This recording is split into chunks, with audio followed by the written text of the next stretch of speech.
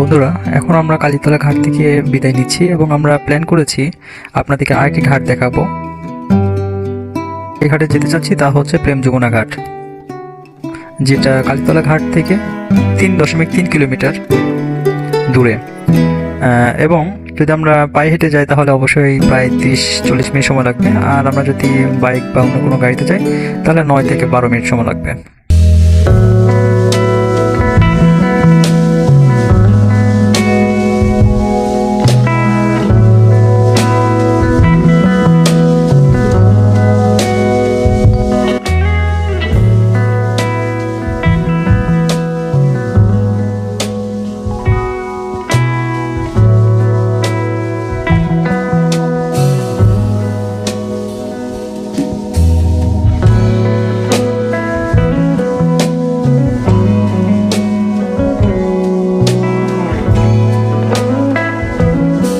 যমুনা ঘাটে প্রবেশ করার সময় এতগুলো কবুতর দেখে আমার একটা কথা মনে পড়ে গেল। আর তা হচ্ছে, এরা নিজস্ব প্রজাতির সঙ্গে ছাড়া অন্য আর কোনো কবুতর প্রজাতির সঙ্গে মিলিত হয় না। এটা খুব মজার একটা বিষয়।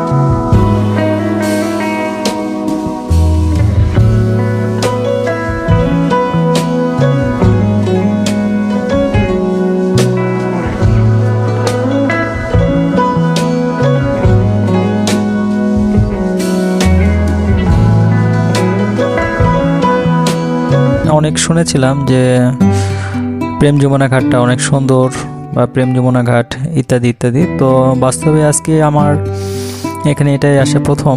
তো আমি আসলে একটুও মজা পেলাম না বা আমার কাছে খুব একটা ভালো লাগে নাই। কালীতলা ঘাটটা অনেকটা পরিপূর্ণ ছিল। আমার যেটা মনে হয়, যখন এখানে পানি থাকে, পূর্ণ বর্ষা মৌসুম, আমার মনে হয় যে বর্ষা মৌসুমে যদি আমরা আসি, তাহলে অবশ্যই অনেক সুন্দর লাগবে। এখানে শুকনো মৌসুমে দেখার মতো কিছুই নাই। তো বর্ষা মৌসুমে আসলে মনে হয় অনেক কিছু আমরা দেখতে পাবো। অনেক সুন্দর লাগবে পরিবেশটা। আর আপনারা বন্ধুরা এখানে এসে আশেপাশে থেকে স্ন্যাক্স জাতীয় জিনিস খেতে পারেন কোল্ড ড্রিঙ্কসও খেতে পারেন, চা কফি খেতে পাবেন।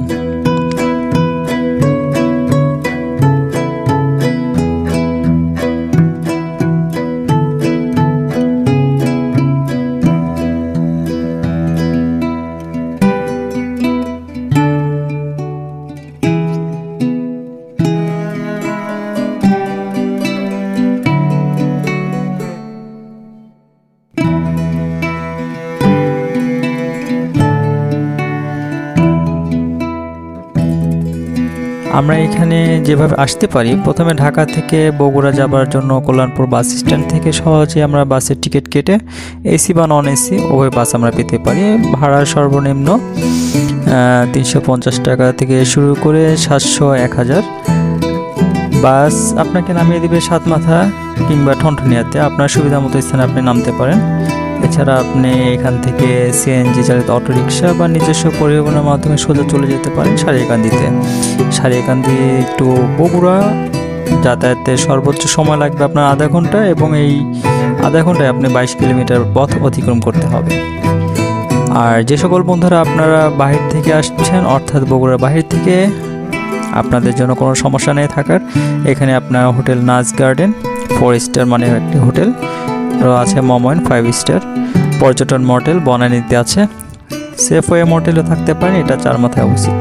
এছাড়া যদি আপনি বগুড়া শহর প্রাণকেন্দ্রে থাকতে চান, তাহলে আকবরিয়া হোটেল অন্যতম। আজকের মতন বন্ধুরা, বগুড়া সারিয়াকান্দি থেকে বিদায় নিচ্ছি।